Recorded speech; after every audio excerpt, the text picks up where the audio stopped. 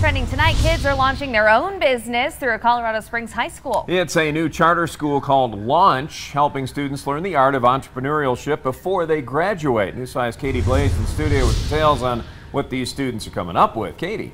Robin Elizabeth, kids at Launch High School creating everything from apps to games, jewelry, even an apothecary where they make herbal teas and cosmetic products.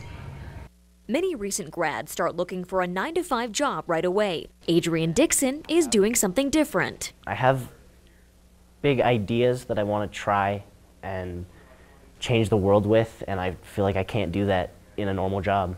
So I want to work for myself. The 17 year old is a junior at Launch High School. I would not be the person I am today if I hadn't come to launch. The school teaches core subjects like math, English, and science, but its main focus, entrepreneurship, with students creating their own businesses. Part of our long-term vision as a school is that we provide uh, these students with incentive to start and grow their own businesses here rather than having to go elsewhere. I have ideas with renewable energy um, to hopefully increase like efficiencies of solar panels. For sophomore Mahala Hooper, I'm really into songwriting and I want to be a musician. Musicians, they write their own stuff, they're entrepreneurs. Here we learn about digital marketing and other things that are really important when it comes to maybe starting a YouTube channel and trying to promote yourself. The focus of Friday's class. The presentation today was about um, search engine optimization. Any business that has an online presence really requires SEO. We're just trying to really equip them with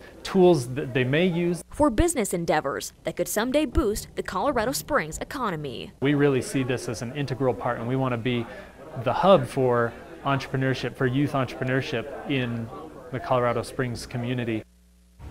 Well, I'm told some of these businesses have actually cleared several hundred dollars in sales. Only about 70 students attend launch right now, but it is hoping to grow and is accepting new students. Always watching out for you, Colorado Springs. Katie Blaze, News 5.